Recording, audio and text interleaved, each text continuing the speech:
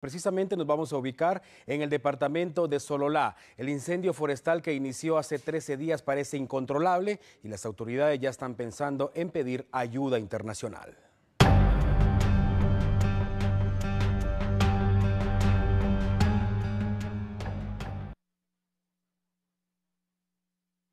El incendio forestal en Sololá no da tregua y los cuerpos de socorro luchan desde el 1 de enero contra las llamas.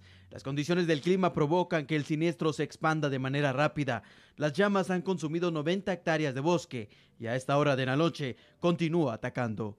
Según el CONAP, para que una hectárea se regenere se deben de esperar entre 2 y 3 años. La situación es alarmante, ya que amenaza la cuenca del lago de Atitlán, sin mencionar que varias aldeas se encuentran en alerta y podrían evacuar en cualquier momento si las llamas les representa una amenaza. El siniestro ha cobrado fuerza y se alimenta de las rachas de viento y la resequedad en los suelos. Las llamas han alcanzado una altura de 10 metros y el trabajo de los socorristas de Chimaltenango, Quetzaltenango, Zacatepeques y Solola parece que no es tan fuerte como las llamas.